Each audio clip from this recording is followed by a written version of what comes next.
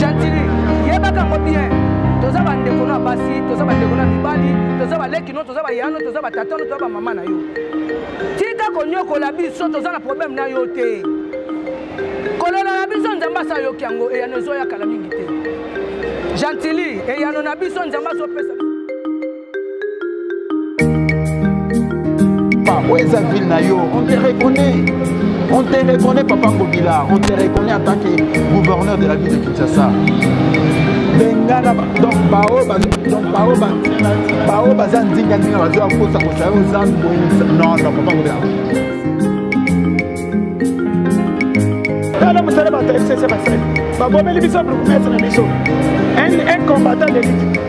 aliste akomi bourgmestre bato ya bisese bakomi bakoboma biso lisusu okobunda lisusu okoya puiske tooblige fo oya me ntango akoya oyebisa mpe bagarde na yo batya bansasi na charge ebele mpo tokolinga te obima mpo avant obima place wana opesi biso solution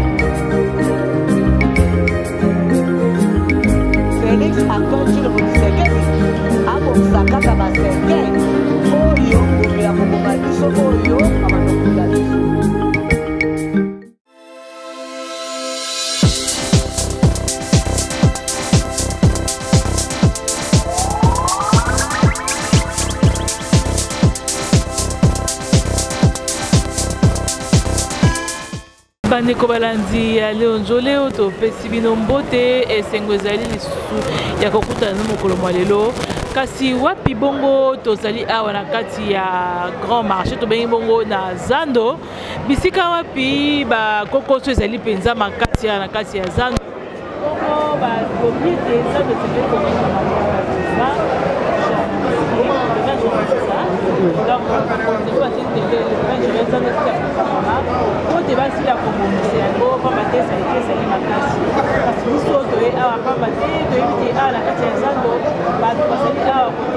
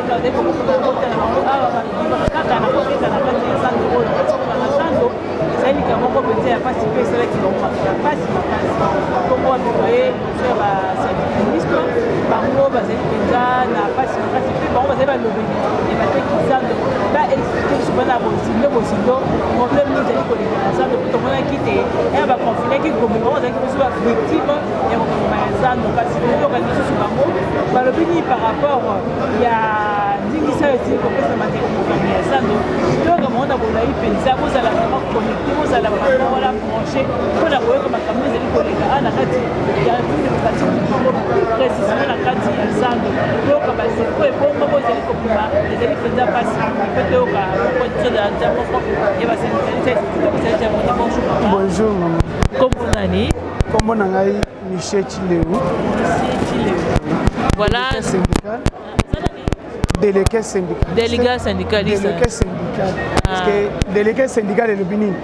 eh, cadre nyonso syndicat mm. akoma déjà délégué parce que vous représentez corporation na bino mm. soit na marché soit na niveau provincial mm. donc c'est pour des raisons omoni biso toza badélégué na eh, camarade eric tozali badélégué bato bazo représente na membre parce que na syndicalisme ya des membres Et il y a aussi des délégués. Pour des raisons de vie, azali délégué syndical. Ok. Voilà, merci beaucoup pour la précision. Wana. bato ye awa na kati ya zando tomoni bino tobofandi mpenza esengo mpe ezali mingi te boyisa biso likambo nini mpe ezali koleka kati ya zando awa mpo toyoki te zando ezali kokanga le 20 janvier mpo bakanga zando ezali mpenza likambo nini ezali kosala te bakanga zando mpo tomonaki euh, na mwa ya jour basali koconfine ekomi mpe zando esali bato bazali koteka su te awa lisusu bakanga zando likambo nini mpena ezali koleka awa na zando eske biso mpe na koleka ok madame merci beaucoup mpo na motuna me nayebi ezando oyo ezalaka lokola 25e commune na kati ya ville province ya kinshasa mpona nini tobenga yango 25e commune so otali kinshasa mobima bato nyonso to oyo bazali na kinshasa bayaka kaka na zamba bato bavanda na maluku na nsele eh, kimbaseke masina tous les communes na monga fula selembao bato nyonso wana bayaka na zando bao bayaka koteka kosomba te baye koteka na zando yango tobenga yango ezali 25e commune na kati ya ville ya kinshasa likambo ya zando ezali ndeke na mois ya avril le 6 avril le vice-ministre, vice-premier ministre et ministre de l'Intérieur asalaki arrêté ministériel portant confinement ya commune ya Gombe. Ntango agombe akonfine mwana mboka Gentini Ngobila aprofite na eloko wana akangi zando. Pardon tu nakata wana mwa mwana likambo olobi wana avant tomonaki te opération ya kobuka bamesi ezalaki ezalaki avant confinement to ezalaki vrai merci mama otuni motuna moko ya bien le 9 février ngai michel na baninga na biso basyndicaliste bacamarade syndical barepresentant ya bacorporation syndicale nyonso oyo ezali koepre na rdc mobimba gentini ngobila abengi biso service de travail séance de travail na ye na hôtel de ville na troisième niveau na sali kimbuta aye akoti alobi alobi eh, makambo aza il faut arésilie contrat ya monsieur hassan esika likambo ezali nde yango wana abimi akei atikeli biso ministre provincial ya eh, chargé ya eh, environnement Bien beaucoup. Mais c'est Tengeli tout. Et Nani Oui, c'est Tengeli. Mais j'ai ça dans le Nani. Nani Qui est la mission de Malé Malé, mais c'est Hassan Wana au. Nazo comme appel, mais n'est pas encore ça, mais c'est Hassan. Voilà. Après, Wana, ministre provincial ya gentini ngobi jango yivuzi abenga biso na service de travail lisusu tokomi epa na ye na cabinet na ye alobi bien ezali na bacontrat moyen ko résilier contrat to résiliaka contrat mbongo te mais c'est asan azwi contrat na mboka na biso rdc à l'époque ya 1 plus 4 wana moi eh, président honoraire joseph kabila azo gérer mboka oyo na transition ya 2003 à 2006 ye nde moto aye na asan biso te kabila nde aye na asan apesi ye contrat ya marché central asali mpe abimisaka mbongo te abimisi mbongo na ye 20 millions de dollars américain apesi kabila na bato na ye basali nango campagne ya 2006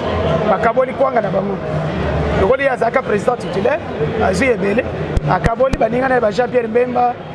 azalia solo de roi hmm. ministre ya décentralisation banso baza na kati mpe makambo nazotanga bazali bao bazali avi bayebi ke baliaki mbongo ya asana azalia solo de roi jean pierre mbemba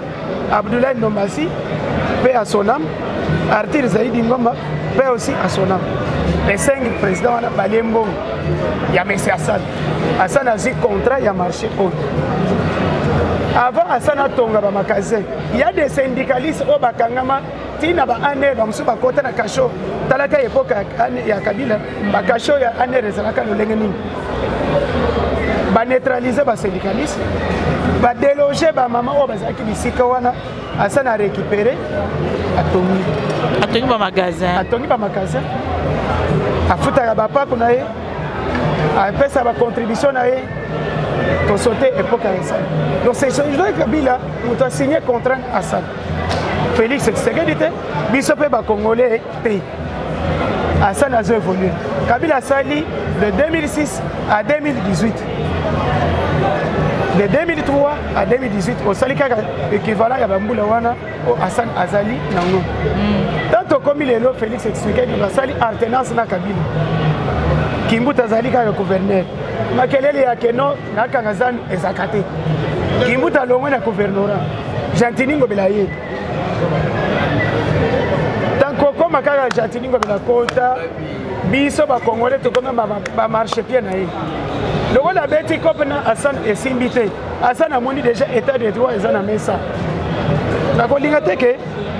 asalela eh, biloko oyo ekomemela ye lobi akoma lokola sami jamale te ya osigne contrat obebisi oke vanda na selema lokola vital kamere abangi na ye bino soki contrat na ngai esili natiki zando na maboko ya bacongolais ekomi contrat yango ezalaki ya combien de temps 20 ans dakokisi babula boni osali kalikili na mbula oyo etikali de 2003 adeni euh, abandi yango na 2005 si je me trompe ti lelo etikali combien mpo na 20 ans na ye esila wana semese kabili 1 million une année 1 million une année azwi 20 million botuna joseph kabila esika avandi na lubumbashi ayebisa bango tosote kabila ngobila ye ayebisi biso ifo aresilde contrat ya mesasani azweli biso administrateur moko chargé ya technique ya question eh, sécurité et environnement ya marché central guy michaud aye bazwi opération tobuka bakioske na zando oui abuka kioske abandi obuka kioske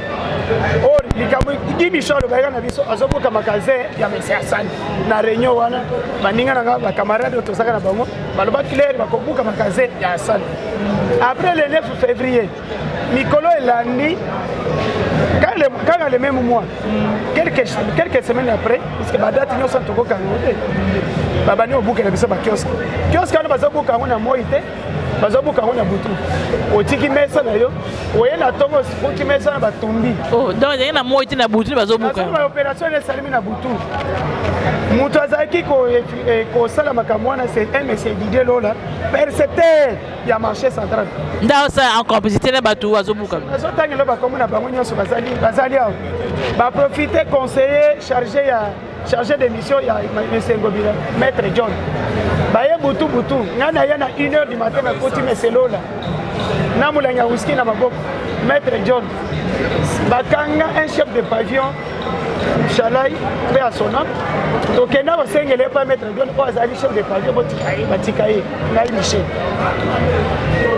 babandi kobuka butu babengi basheke nyonso ya ngwaka ya basheke nyonso bayi nyonso bakuluna nyonso to bayebi ya komi na kinshasa barumbu baye donc mama na biso soki otikaki biloko na kati ya kioske oleli ah bon opération buka kioske esili chef de l'état épidémie ya coronavirus eye na mois de mars ntango ekoti na mboka chef de pavio mpe adekritaka état d'urgence te adekrite état d'urgence chef de l'état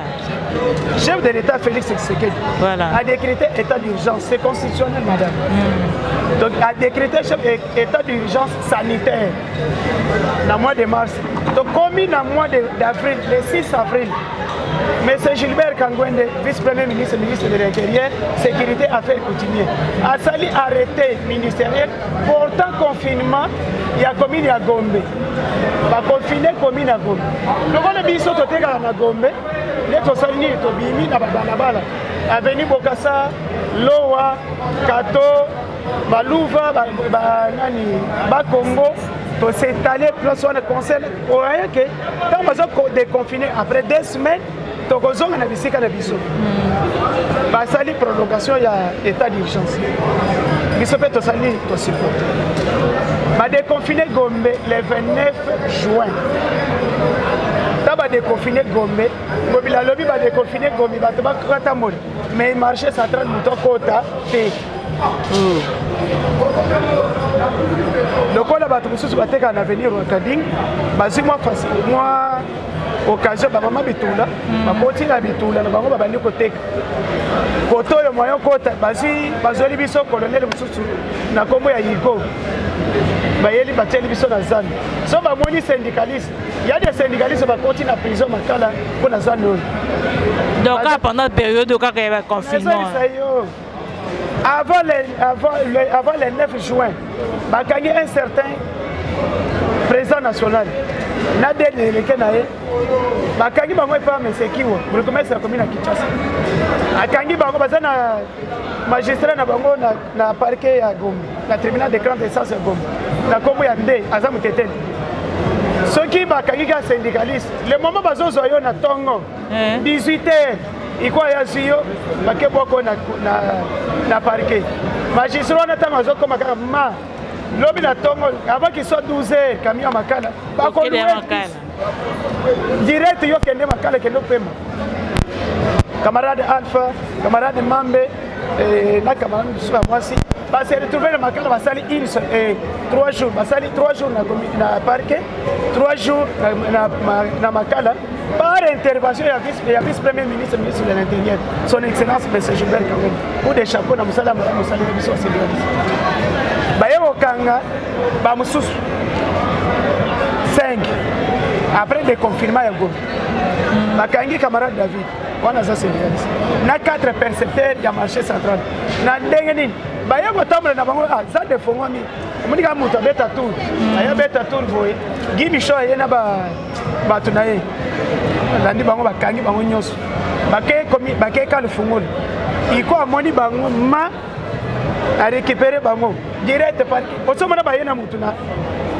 15 heures 18 heures batindi yo na parke bakamarade bakomi na parke lelo bakomi na 18 heures balali ntongo baluwele bango yasi donc baakela ya makala te me baoluwele baya koluwele makambo nazo explike igo aza témoin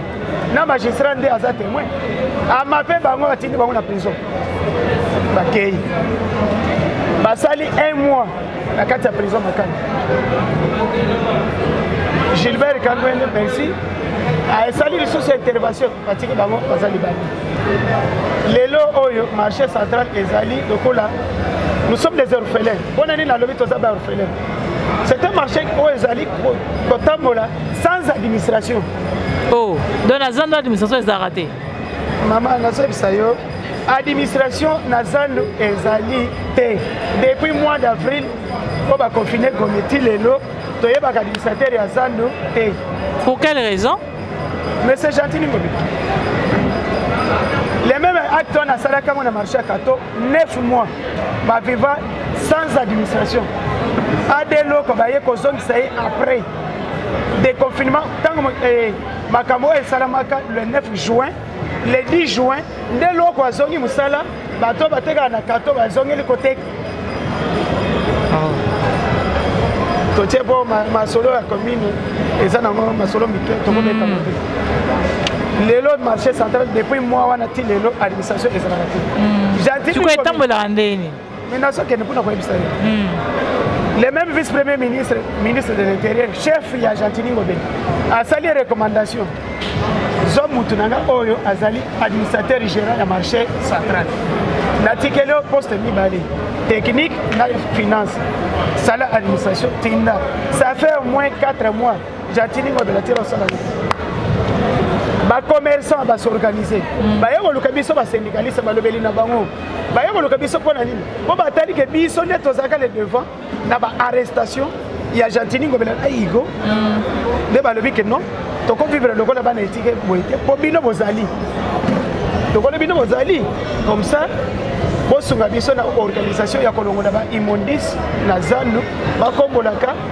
bakendaka kobwaka to contribuaka volontairement nde bato bandi kocontribue moto azopesa 500 moto azopesa 200 moto azopesa 300 mosusu azoboye wana kaka organisation kaka ya bato kaka ya zando bango moko bacommerçant eh. oyo atali ke non ngai nazalaki na esika koteka te depuis le 6 avril nazwi bisika koteka te nakosala nde nini ah, lokola ezambe na biso efongami toza bana bitike komisa tokontribuaka biso moko ata mwa 200 mwa 300 na biso ok propriété esala nini ezalaka tokei bato abandi kosala bazolongola food awa na bapusu bakebwaka na sayo ntango ngobila ayoki kaka pusu ya zandu ezoya na sayo mama na biso yo bapesi konsini na sayo fulu ya zandu ekotaka awa te donc zando ya mboka mosusu eza 25e commune fulu ya zando ekotaka na sayo te ekokendaka wapi on s'est organisé non toza kaka quand même bato toluka mwa esika moko boye tobanda kotyaka fulu so ekomi mwa quantité mm. mituka eyaka elongolaka ekenda kobwaka ata na kinkole komisa ngobila koyeba te bazokende kobwaka yango wapi nde omoni siko fulu tokomi siko à l'impossibilité ya kodekage immondice fulu ekomi ebele ekolongwaka ndenge nini tobandi nano na fulu oyo tokuta ngobila tika na zando na, marche, na avenue plateau croisement du marché tala ngomba fulu bato nyonso ya, ya nini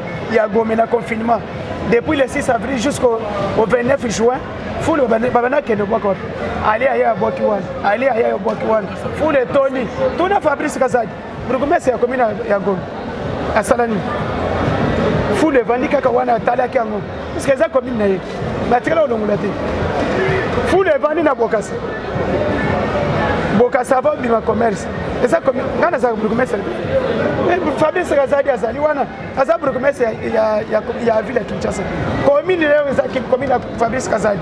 ke eleo nini asali avandi ngobile le 11 asali communiqué officiel ya fermeture ya marché central alors ntango azokanga marché central bisika nde mama ya likambo ezali mpenza ndokitakitaoyo mama na likambo akangi tondimi azokanga mais zando ezali fréquente avec bato bazoteka c'est 35 000 bander na kati ya marché central ye moko ngobi nayebisi biso na réunion ke le marché central est fréquenté par 2 millions 500 000 personnes par jour asali basiti misato itaka kasavu hmm. na kati ya lopango oyo ezalaka terrain ya bato babetaka handball nakomi na kinshasa mm. ngobila azwi motu na ye azwi disciple na ye didie lola ake wana abeti alobi ke mesa eza ofele me mama nayebisa yo didie lola ntango akomi wana ateki mesa mbongo ya moke se 500 dollars kotali ke zando eza ya kokangama bato ya bijou natekaka bijou nazwa asomi mesa nakofongolelo telefone na ngai eza na décharge mosusu didele oyo natekeli moto espace 2000 dollars nakolakisa yo wana na, na marché itaka, kabi, itaka eh, kasavu mm. marché wana ezozwa même pas 500 personnes bakokota te so, kesala sommation 35 000 moins 500 etikali 34 500 mm. tokei na marché ya kabinda na kabine oyo babeti wana bato ya bato ya zikida somba zikida batekaka mpe wana bamabaye oyo batekaka wana batekaka wana baveni or esika wana ezali ekole ya leta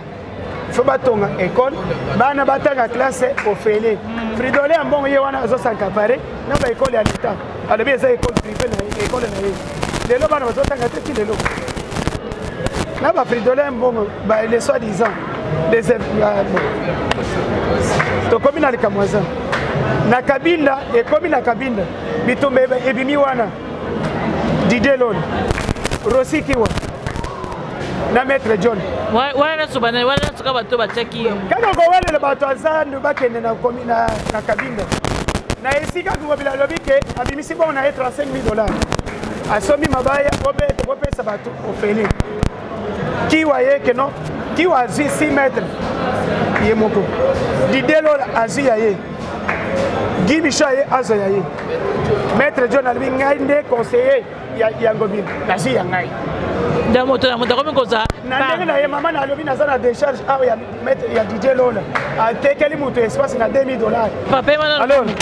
topesa papa pe kuna mi pe mana mwa mokie na moi déjà danse ezali komata mwa makasi topesa na papa kuna maloba tokozongela okokima nano te ezalaka awa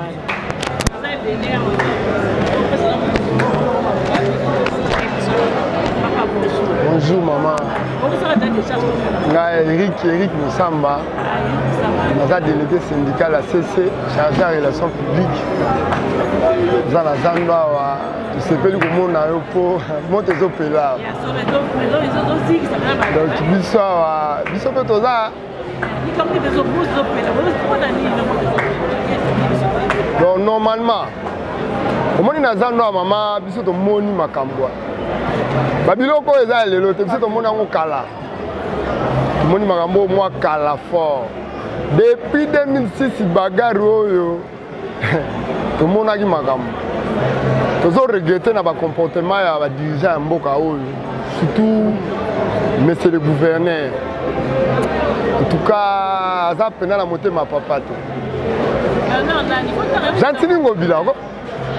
gentili ngobila gouverneur na biso aza na motema papa te parce que barubrike tout azocreele biso na marché central awa biso toza bavictime eza tomonaki awa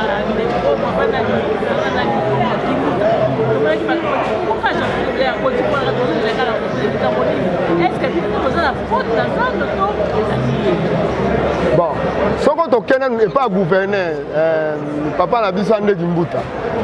ntango bazotonga biloko oyo ngai nazali parmi les jeune oyo bazala age ya mokie na réunion wana oyo tozalaki lokola tozobunda magasin oyo etongama te biso tomona bazoye bayela biso tala eriki ye wana moto azotya te eloko esovanga baninga nanga ebele bayebi toyebi mpo eriki akangama te epoke wana ntango balingi bafongola bamagasin Andre Kimbuta abengi biso na tête de ville. Gouverneur aloba boye. Alanda maloba oyo. Gouverneur aloba boye. Bomoni ngai Kimbuta. Nabuka bandaka ba généraux. Nabuka bandaka. Bomona te.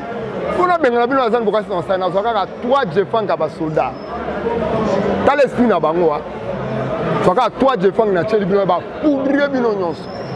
alors bino bozala liboso botikela mondele oyo asani ba axe me nayebi soki bato bakufa toyebi bato bakufa azolinga kaka bato babakisaka maka kokufa na makambo azangi bato bakufa epoke wana ngai natombola mosapi le bapesi maloba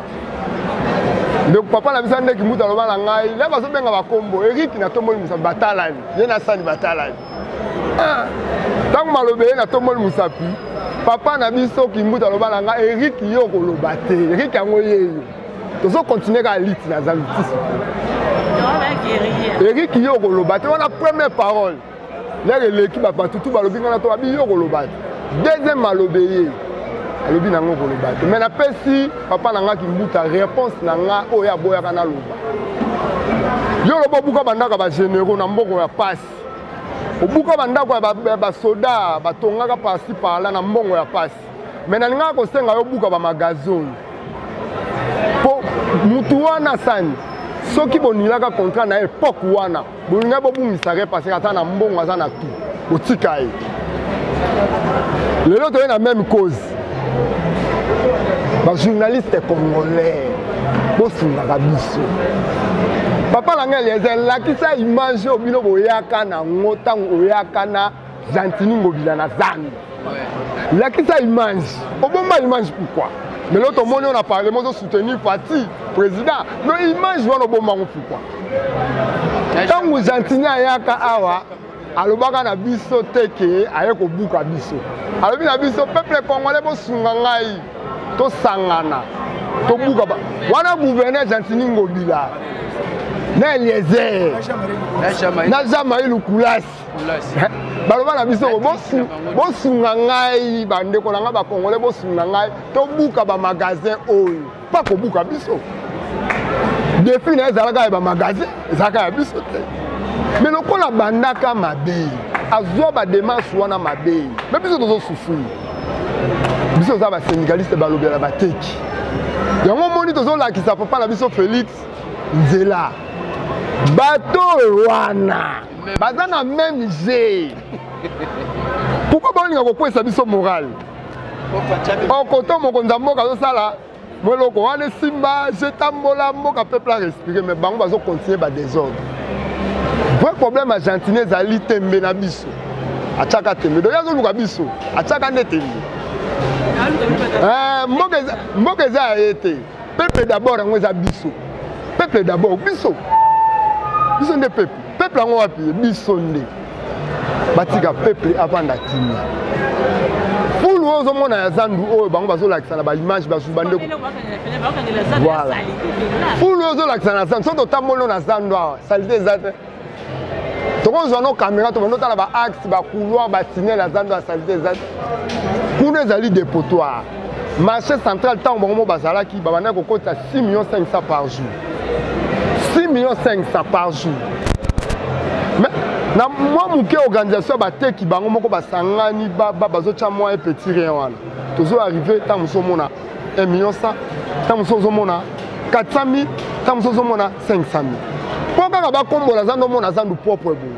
bato bakombolaka se 310 mil badone wana nyonso eza mpasi mama nalobi na yo eza mpasi omoni ndeko na ngai michel auti koloba ava ngai mpo totelemela politiki wana gentini ayaki nango nazwa biso nde bata liboso tokotaka na kasho ezali ngai erik ndeko na ngai michel président thomas président balo bakanga biso na administration oyo ezalaki awa mpo na nini ndenge babuki biloko ya bato batumbi la demain nango baye bofuta taxe soki te mpo na kofuta bataxe mpo kozongisa bango na badroit na bango yango moni ntango biso totelemeli jip epai igo kaka me akotika kolemba omoni biso papa na biso igo kolemba mboka oyo eza ya biso toboti toza na bakoko racine wana ekokontinue biso eza basyndicaliste eza temps d'esprit syndicaliste eza esprit lokola tokodefendaka kaka badroit meme ya, ya, ya bazando bana na biso bakodefendre badroit ya armée bana na biso bakodefendre badroit ya ba makambo mosusu na mboka oyo eloko biso tozosenga chef de l'etat bazwa nanu humidité ya, ya, ya gentini ngobilala balongola yango aleka na justice bayesi kona eta soki elevete bakokanga zambi biloko na biso batumbawa procès nanu esili te bato bakufa awa nanu leta congolais azongisi bango bafamille na bango na badroit na bango te bato mosusu bale baya koteka ti sikoyo bayaka te baza na bandako biloko na bango gentini atumba oyo batumba wana tozokamwa epuis nazo nange mokie nayebisa ndeko journaliste na biso omoni politiki nyonso tu ya mabe soki oye nango na congo ata orate joseph akangaki yo te me félix akokanga yo ata bapapa moliere bana bango balembalemba bana bakopa bawenza awa bango bakotika biso topema te moliere moliere bana biso bakoya te eliezer eliezer bana biso bakoya te kaka bango baza na cope partout neti eliezer eh, ndeko eliezer so ezalaki eza intere na ye te nde asala yawa ngai eliezer spécialiste omoni yo ye mpo oza na intérêt ya peuple oyo koyoka biso tosolola tobetela yo vraie histoire mais yayati ayati bango bakumisa bango bamole bayati Rémi Mazinda. Rémi Mazinda. Eh, ngai nazali membre syndicat. Oui.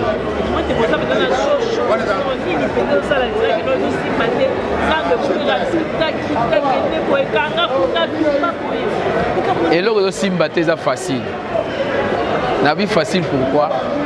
clique ya oyo baza na nsima ya monsieur le maire na ye moko monsieur le maire atika nde batracasera osala mpo na bacongolais poso na bi mpo na basendika ekomi eloko mosusu mpo na bacongolais na kozala gouverneur eza kozala spécial na mokili te oza gouverneur ya bacongolais soki biso tozali peuple yango oyo oza gouverneur difficulté oyo na zandu bacommerçant na bacommerçante bacongolais bazo se plaindre trop ezali mingi ezali mpona kriki ya bato oyo baza nsima ya gouverneur na ye moko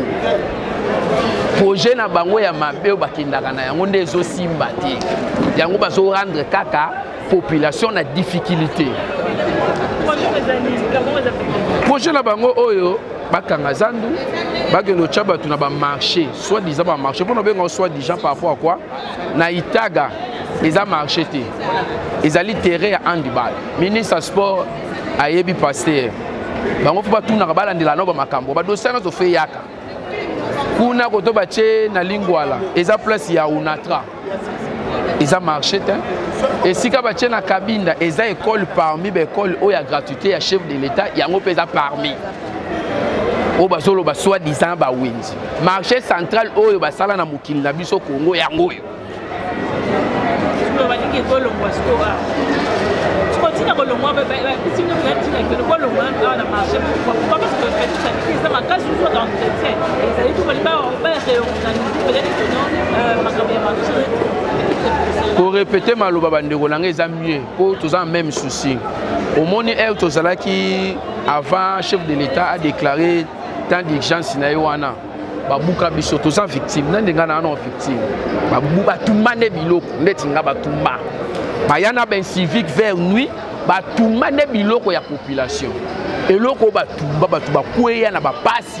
bango bamona yango te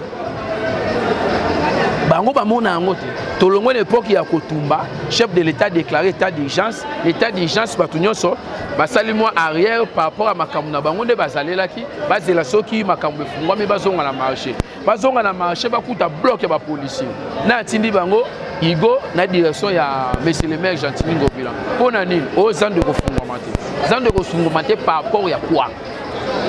outi kotumba biso touti kovanda na bapiaka na ndako tozonga to récupere ata 1000 francs na biso yo bloke biso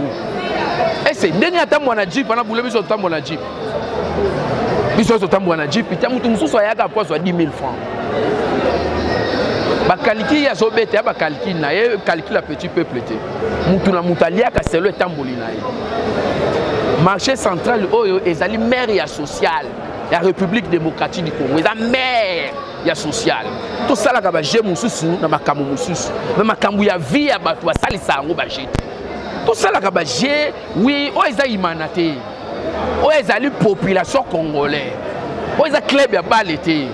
oyo eza nanu mai ena bi mai seke base ya sociale oyebi difficulté toza nango na kati ya pays nde gouvernement na biso topotana potana atya mwaka makambo mwa moke na tutwa mais ere bazolinga batya mwa makambo yango na tout droit ere le même joueur wana ya makambo mabe oyo bauta na yango bayumbi bauta na yango baparti par là idéologie na bango wana bazalaka nango bazalaka so babeti kara ere bomona babimi na nzela mosusu makambo oyo babandi yango lelo te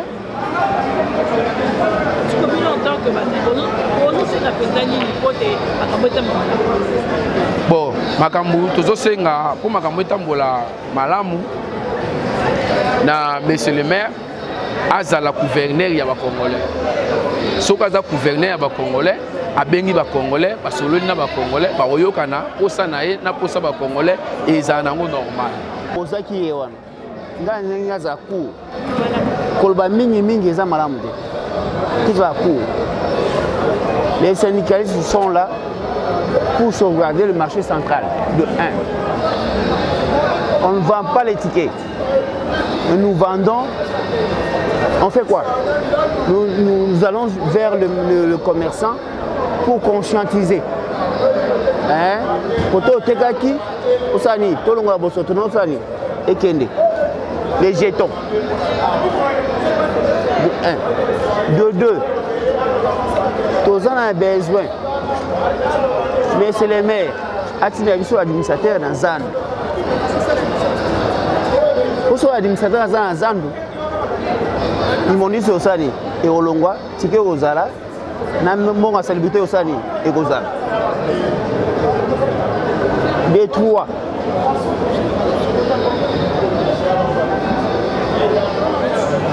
monsieur le maire ayeba que non awa to evre na zanu combien de personnes ebele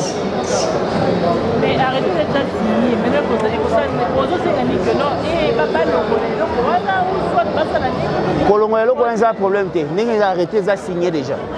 tondimi yango de 1 mais etant ke moto abwanya mpe mayele étant que monsieur le maire de la ville oyo azo encadre bana na ye on peut faire à ce que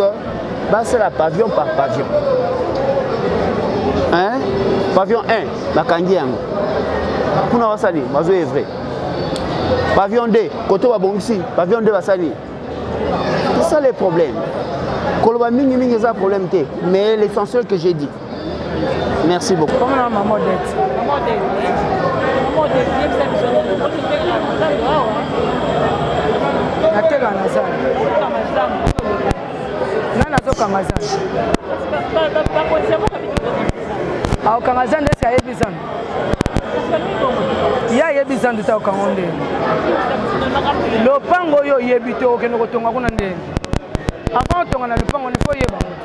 yo koyaka okoti kaka na kati ya lopango ya bato obandi kotonga eza ya yo te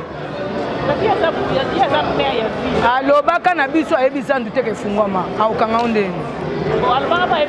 alobaka yango mpe alobaka yango ke ayebi te ke zandu ekanga efungwama ye azo reconnaître zandu te sikoyo akangi yango ndenge nini eloko tozo se pose question parce que faut oyeba ke eloko wana nazalaka nango yango nakopesa bato sikoyo yo ozalaka no na moto okopesa bato nini nayebi zandu te nazo reconnaître zandu te sikoyo okanga yango ndenge nini c'est ça la question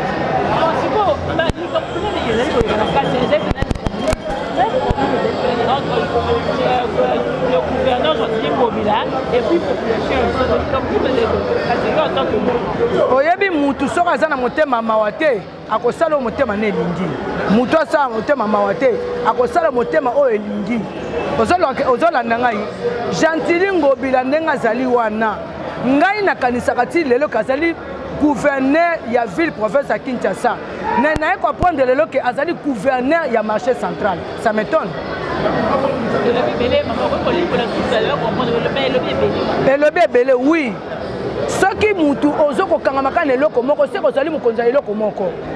soki ozosala nyonso tokoyeba koza mokonzi ya biloko nyonso nde toza na faci beton azokonza république démocratique mobimba mais tozomona ngobila depuis aya gouverneur de la ville ye aza kaka na marché central elingi kolakisaki azali gouverneur ya marché central azali gouverneur de la ville province ya kinshasa te mpo oyo azoloba ya salite eza nango balokuta na ye ezali lokola mutu moko boye eza lokola moto atemi na rond point ngaba azomona kote akokendela te po kote okei omati mongafula kote omati rigini ozongi bokoti ngaba kote okelemba soki okei koteni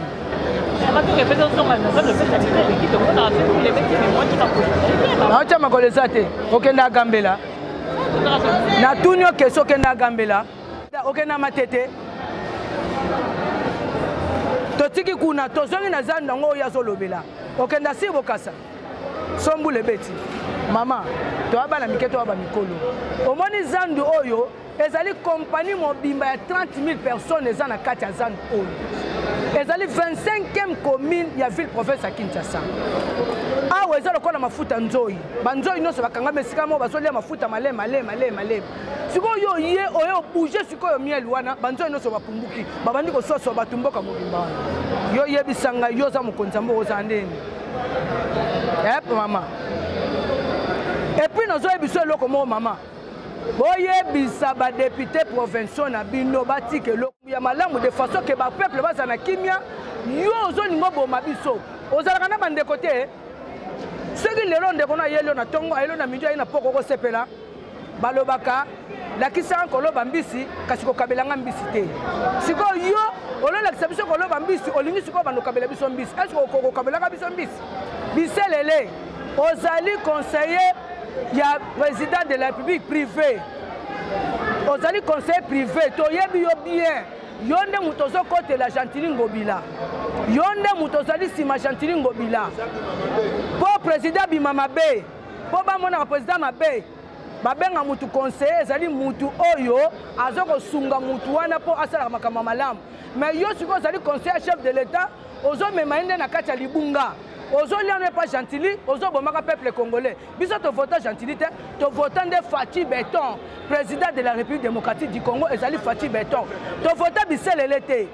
To vota Ngobila te, Ngobila azali nommé epa ba députés provinciaux. No, Gentili, yebaka ngo bien. toza bandeko na basi toza bandeko na mibali toza baleki no toza bayano toza batata no toza bamama na yo tika konyokola biso toza na problème na yo te kolola na biso nzambe asa ayoki yango eyano ezoya kala mingi te gentili eyano na biso nzambe azopesa biso mapinzoli na biso nzambe oyo aza na lola aza kapable gentili toza na problème na yo te tika biso bopili soki ozalaka administrateur wapi ozolanda ngai estce ozolanda ngai bien bato batikala baparalyse bato bakufa bato batikala bapauvre ti lelo oyo bato mosusu baza na ndako baza na moyen ya koya te nani promoteur ya makambo gentili ngobila obuki otumbi obomi ozoya lisusu mpo enchaine baoyo batikalaki su mpo balanda baoyo bakei lelo commission ezali bazosamba mpo na biloko olingi obeta eloko moko boye mpo mobulu ebima batika likambo wana e paralyse dede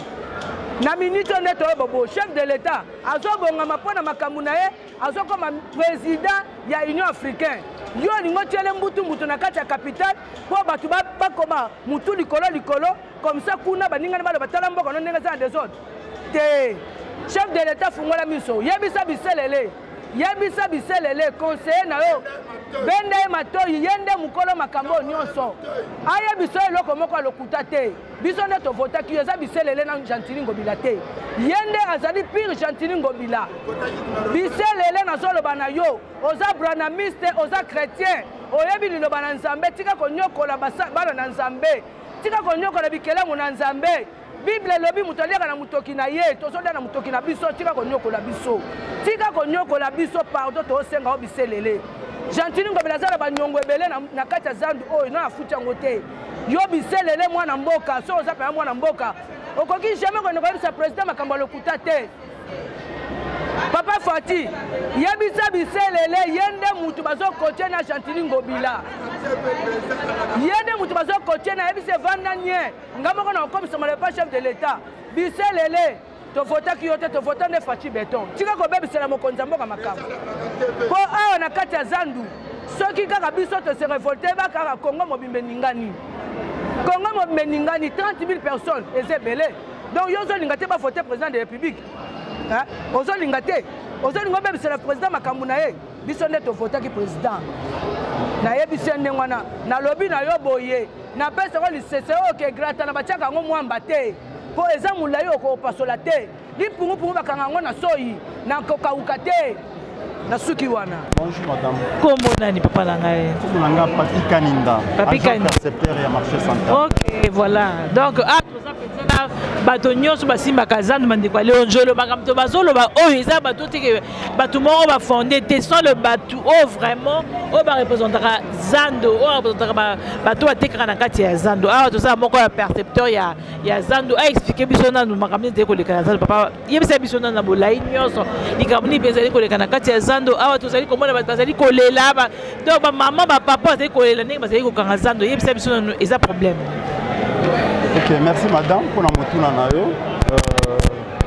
nakanisi boza awa je crois depuis hier mm. boyoki kolela ya famille moko moko na kati ya zando awa kolela na bango euh, provenance na yango eza nini fermeture ya marché central motu moko te na kati ya zando awa aza d'accord na likambo ya kokanga lisusu zando oyo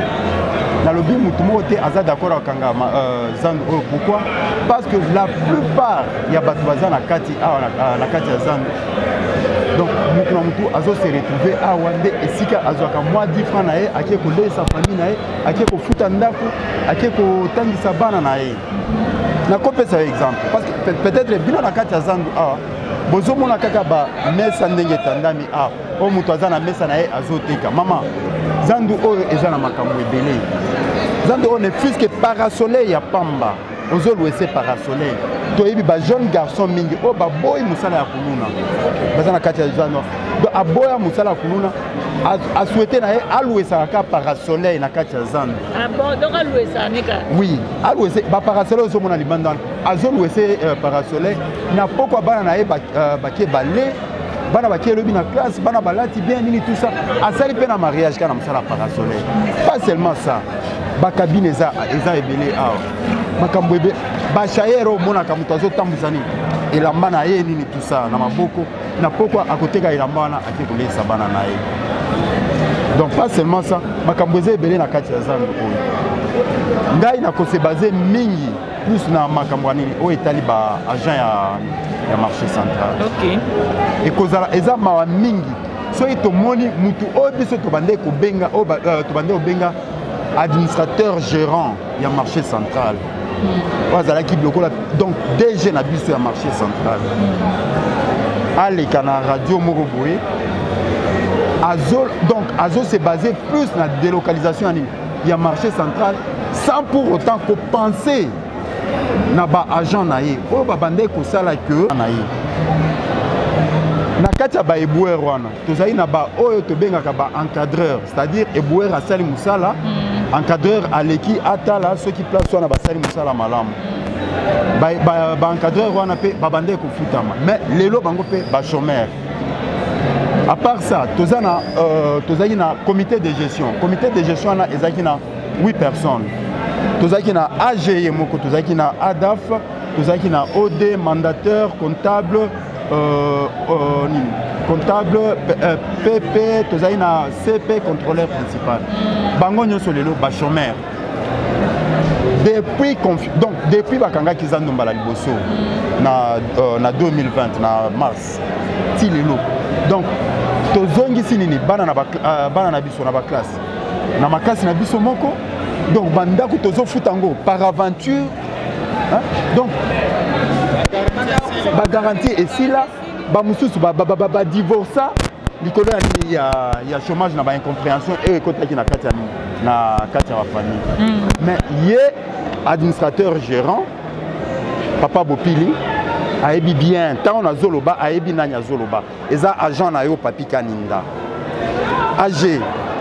kanisa ta kokanisa oyo nyonso bande koyebisa biso soki mbongo akofuta biso emonani te chaque fois bande koyebisa donc chaque fois bande koreunir biso oza, donc oza mwana mama marie age kanisa baagent na yo otiki biso wapi chaque fois soki mbongo akofuta biso ezangi obanda osangisa biso oleleli biso no bocomprendre nini to comprendre totikala kosala desordre ata mokolo moko te totikala mpe kokende kofunda ata mokolo moko te na oyo nyonso nazoloba Euh, gouverneur gentini ngobila ayebaki yango te tobande kobomela yo voilà voilà mais mpo na gouverneur ayebaki kaka ete non toza bien kuna nini tout ça mais orandaki biso mauvais service tobande kobomela yo moto toyebi kaka non oza papa na biso mais eza mawa mingi na oyo toyokaki lobi ntango oleki na radio moko en place makambo nyonso olobaki en tout cas mpo na ngai age nayebisi yo ke oyo nyonso olobaki sur 100 ya oyo olobaki 95 eza lokuta 5% nde olobaki ya solo parce que ntango okomi na niveau ya koloba ke non euh,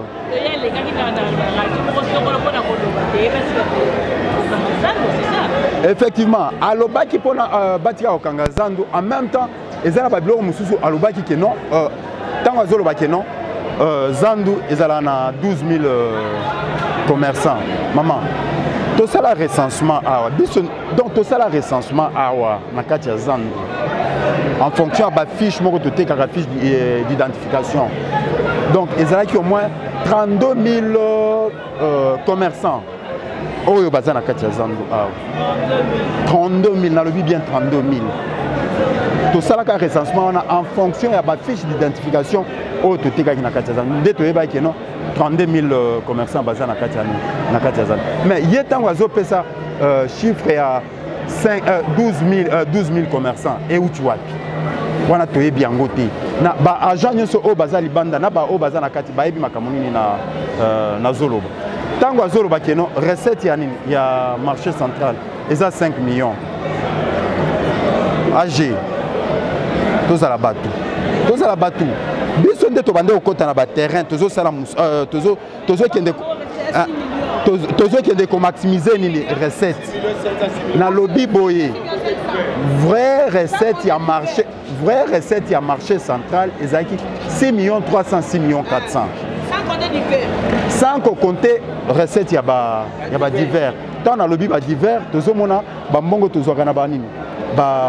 bamagasin ba, ba barestaurant nini tout ça bachario nini tout ça wana recette wana eza nini apart soki tolobi tosangisa kaka bambongo wana age tokokoma na montagne mais otiki biso na arriere à combien de mois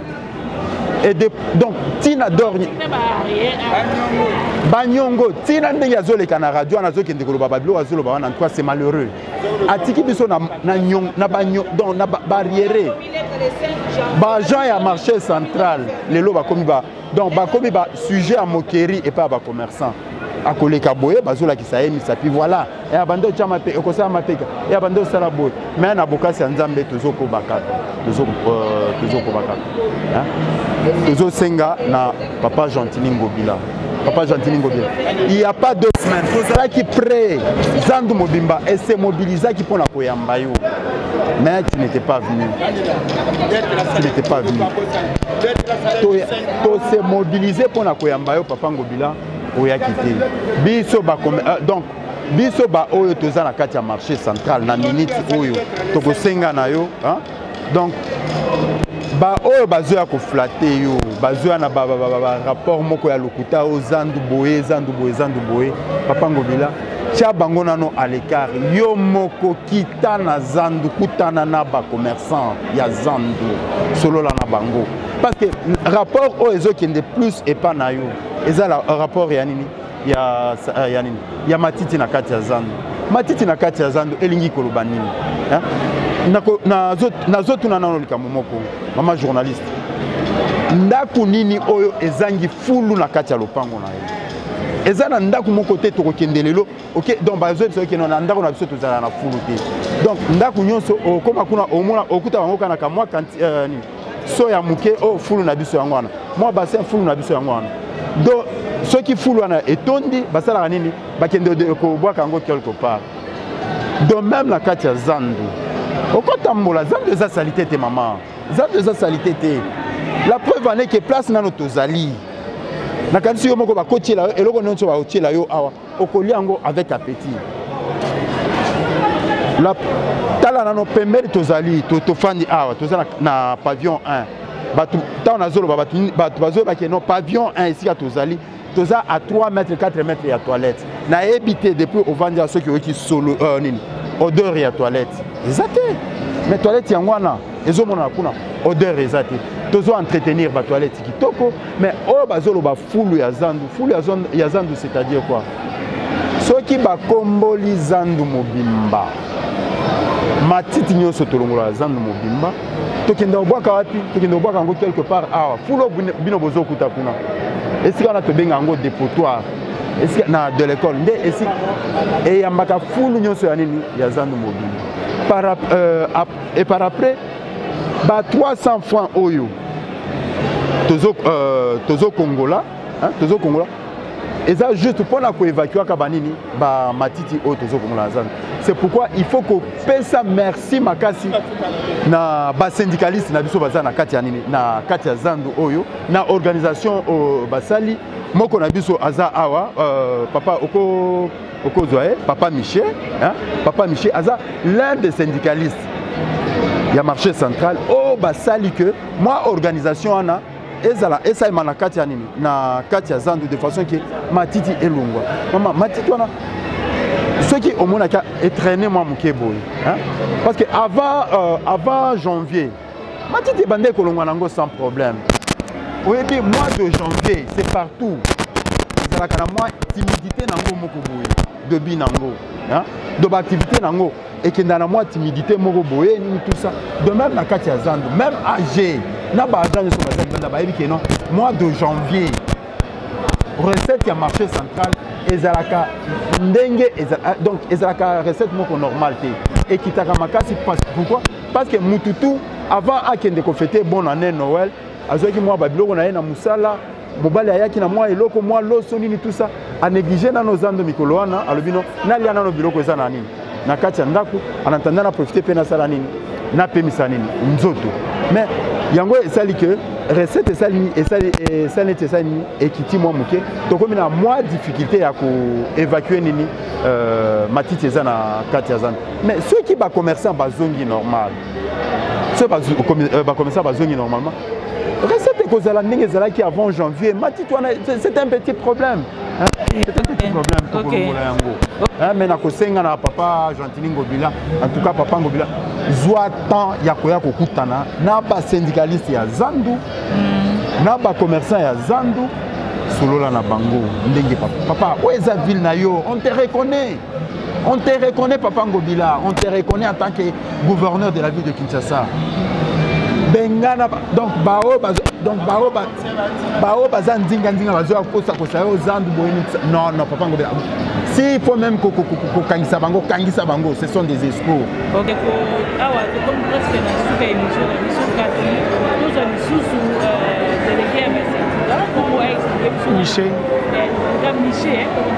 ye aexplike biso lolenge nini makambo ezali mpe akoso deroule na kotekama ya baplace oyo bongo toproduire wana to explike biso na biso makambo ezokoma nini mama nayebi gentini ngobi nakozala na vision ya bien mpo na bacongolais mais eza ya bien te mpo aza mal entouré na marché ya kabinda eh, na site ya kabindi un certain monsieur didier lola alakisi yo document oyo atekeli moto espace na 2000 dollars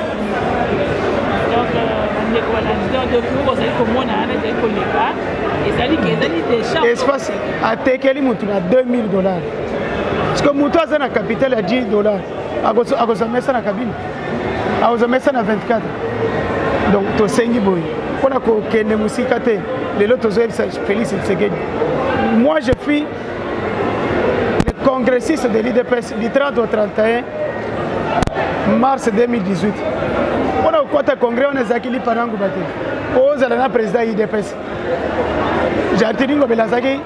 e lepoke wana azolia na kabila bazotia biso bagaz lakimogene toye tovote yo mbula ezobeta mpo okoma président na biso bacongolais lelo tozoyebisa yo bandeko balobi ebele tala baconseiller oyo bauti poto bauti bazalaka bana misala ya jatiningo mina na poto balandi yo baye pembeni na yo mpo yo okomisi ko patron ya bacongolais nyonso d'ici le 21 février ozokoma président ya union africaine mais avant okende na afrique bongisa congo bongisa nano kinshasa kinshasa yango obongisa yango ndenge nini soki omoni ke okobatela jatilingo bino bongisa yebisa toyebi epai na bino toyebi ke mama na yo azali na bomoi mama marta abongisa kantine publike ya bien 35 000 vandere oyo bazali na zando na basi na bana na biso nyonso tokoya epai na bino kolia fufu chaque jour tomeli ti na ntongo tolie fufu na midi na poko tolie après opesi biso mbongo ya transport mpo tozonga bandako na biso ntango osala yango ti mokolo moni okolongola gentini ngobini totiki na biso mpe tozongi na badroit na biso parceke etat de droit opr na biso le fait Etienne Tshisekedi abanda loba l'état de droit eza ya maloba te mais ezali en applicabilité appliqué à l'état de droit Gentili Ngobila a sentir que oh, azali devant ba congolais parce que azali devant géré par des expatriés te te ba congolais nde bazo gérer mboka biso pe nde électeur na yo ya 2023 bo soki biso tolie bien te boni boni tokovote yo Moi je suis combattant de l'IDPS. Mais bazonyokola bazonyokola ka ba Congo IDPS te. Na bato ba votaka yo te. Ndenge oloba tu es le président de tous les Congolais. Ou a vota yo, na ou a vota yo te. Ba ou ba vota yo, bazaka na zone. Biso ngene tinga na banana yo na congrès. Na ye na yo ti mbula ezobeta na bimi na ndako nasali supervision ya commune ya kinshasa mobimba volontairement 50 franc ezalaka te mpo ke tozwa baresultat oyo tozali nango lelo mais lelo otyeli biso gentini ngomile tokomi lokola bamarche pie na ye so asali asali asigne contrat na maire ya paris mpo na assainissement azwi mbongo ya abed ashou azongisa bambongo ya bato atika biso bacongolais libre toteka ata toteka toza na misala te congolais moko te asalaka misala aza te sur 100 pourcent wana ya mweke 1 pourcent ya bafonctionnaire congolais mais le reste nous sommes des chômeurs on se débris ntango okokokisa makambo nyonso tokokende misala zando ekotikala polele mais le fait que nano okokisi makambo nyonso te comment est ce que otika zanu papa eh, toyebi so claire biso nde baélecteur na yo tovotaka bagouverneur te tokotikala kovote ngobila mpe te biso tovotaka nde félix tshisekedi yo nde okosala gouvernement na yo yebisa mwana na yo na mosala gentini ngobila abima na makambo ya baélecteur na yo kodepoi yebisa motu na yo otyele biso na na kinshasa bende na matoi kodepoi toyebi epa na bino na mbujimai toyebi epa na bino nakopesa adrese epa na bino tokobuka ndako tata na yo atika wana bandako tata na yo atika ngai mishe nayebi epa na bino salaka yo aza kasaye ngai naza kasaye bato bazonyokola sont des congolais d'origine et du sang omoni eglise oza nango na bandal wana toyebi yango toya kofandisa yo lokola olingi kolongola ngobila te bandimi na yo ya bandal baza awa bato ba baelecteur na yo ya bandal baza awa lokola olingi koyoka makambo yango bila te tokoya vandi so na église avant tokende epa eh, bafélix tshisekedi kolia fufu tokolekela nano na église na yo tovandisi yo oyebi bakasa ye nde tozalaka tokoya kovandisa yo ta tovandisa na église nsima kobima na biso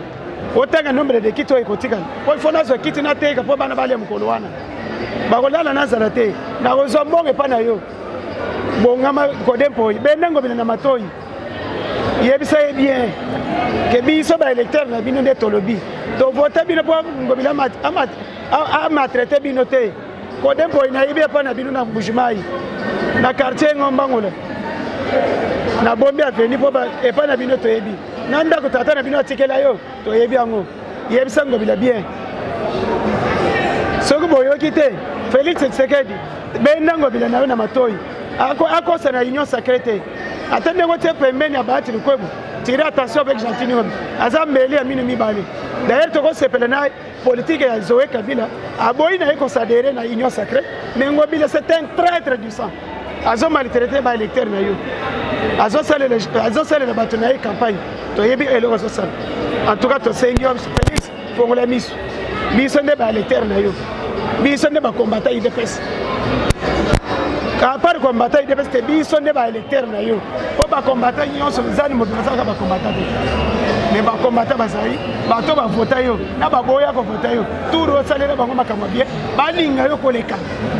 mpo bavote yo likambo aza nde oyo ekopesa deuxième mandat otiki archive ya en tout cas nasengi pardon ozali ndeko na ngai oza ndeko na biso congolais tonyokami na yo batia yo bagaz lacrymogène epai kabila ngobila azaka gouverneur oyebi siloka na biso c'est un siloka magique olobaka yango à chaque fois okanisa te obetaka balime national le peuple d'abord biso bapeuple biso ngobila ezonyokola biso tosengi yo pardon benda ngobila na matoi atika biso libre pardon yebisa ye pardon atindela biso administration bapesaka ye mbongo eza manga kanye mpo na leta congolais ngobila opesi bilia 362 million de dollars tobetele moboko okozwa ngo wapi okobuka zanu te papa tala mire oyo mobutu atonga yango esala combien des années mpo esila boye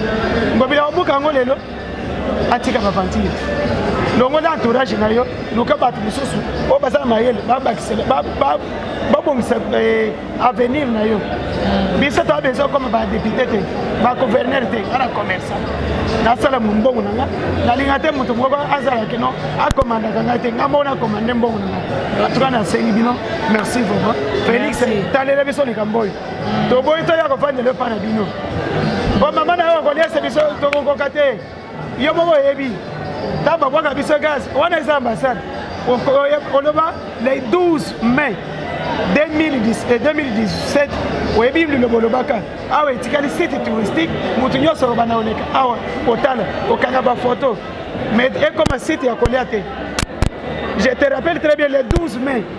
oyebi na kati ya lopango maloba olobaka marche oyo proclamaka olobaka nini lelo oyo moto adistraire yo te outa na bitumba mosika outa mosika na bitumba me lelo obomi coalition boma mpe ngobila longo na ye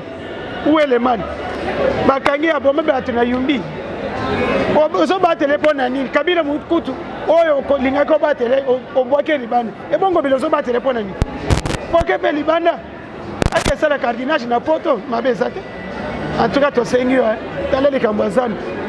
ekokende na bato ebele obongisi baserkei morke ya bien na cachot tokufi okundi ndenge okundi jacob kabeya okunda biso mpe lisusu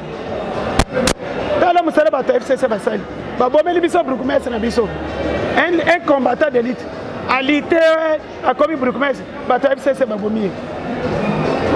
bakoboma biso lisusu okokunda lisusu okoya puiske tooblige fo oya me ntango okoya oyebisa mpe bakarde na yo batya bansasi na chargeur ya ebele mpo tokolinga te obima mpo avant obima place wana opesi biso solution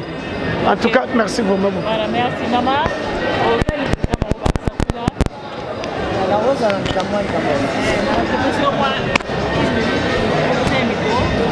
naza likambo ya kobakisa sa ezali boye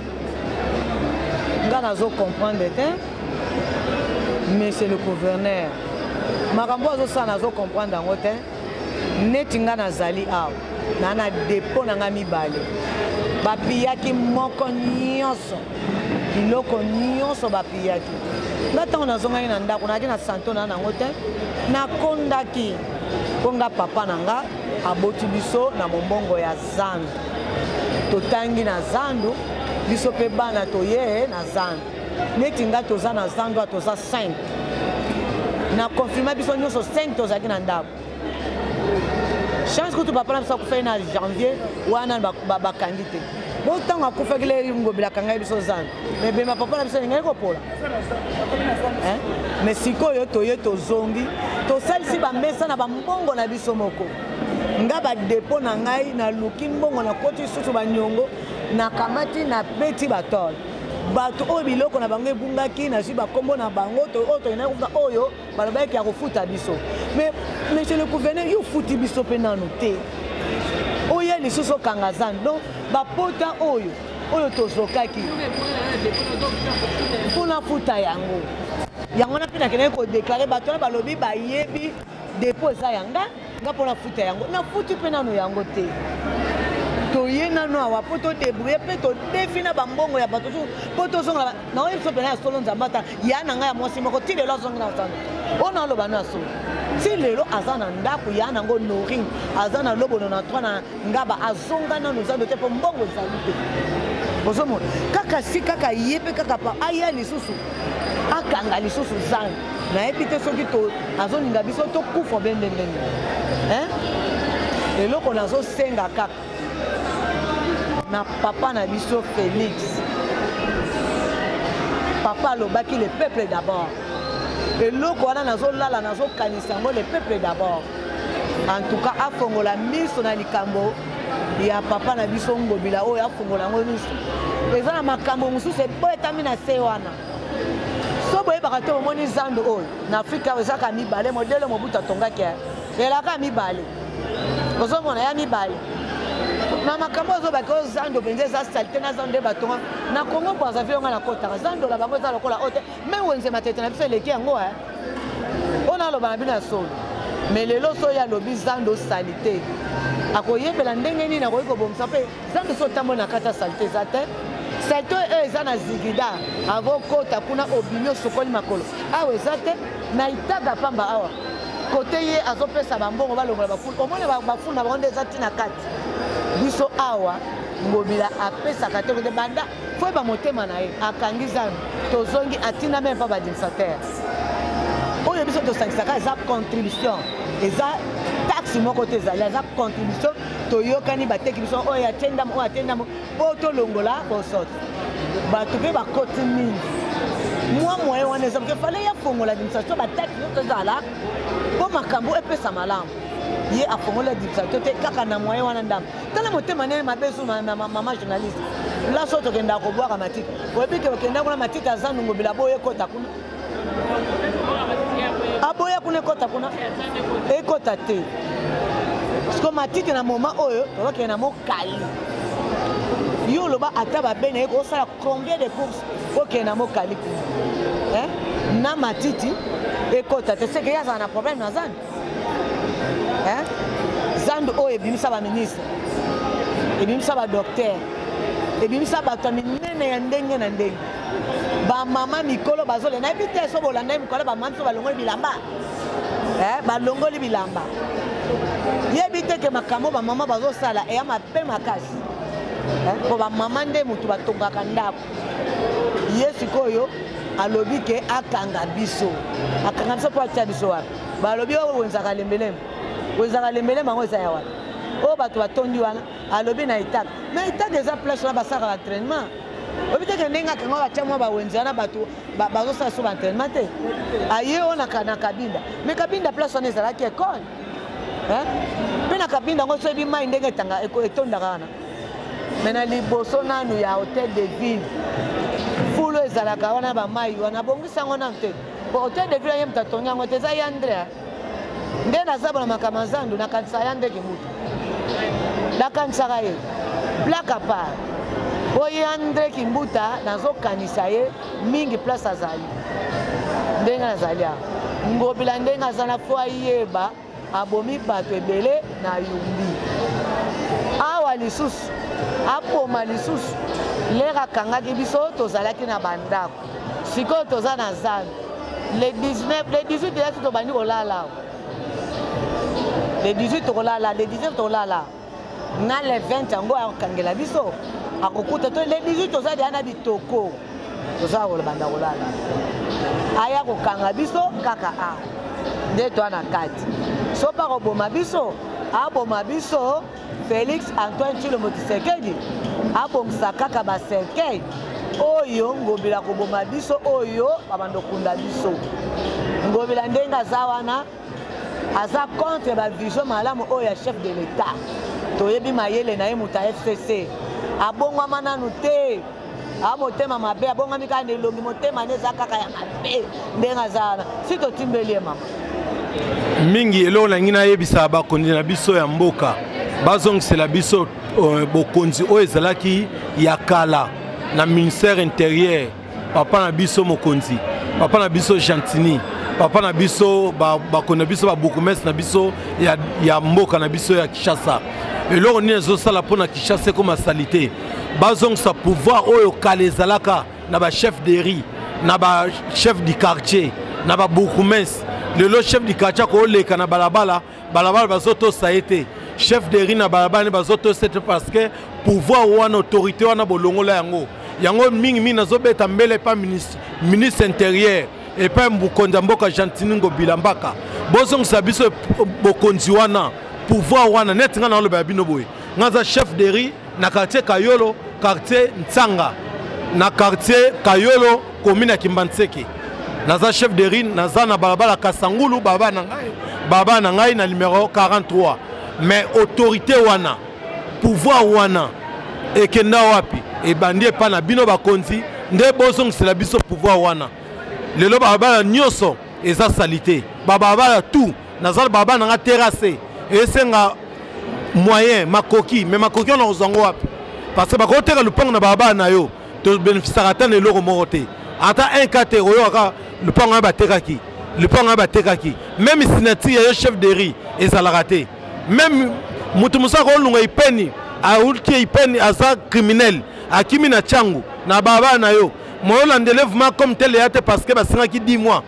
papa lupanga koti criminel mais soki ntango olobake opesa mbela wana na maboko ya ntango mosusu bapolisie bango moko mpe bazotrahi biso bachef de ri toza mosala makasi papa bokanisa biso